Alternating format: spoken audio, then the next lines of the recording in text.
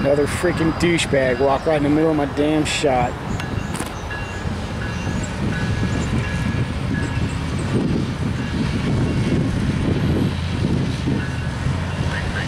Not only that, he's a fucking trespasser. Dumbass. Crossing the street!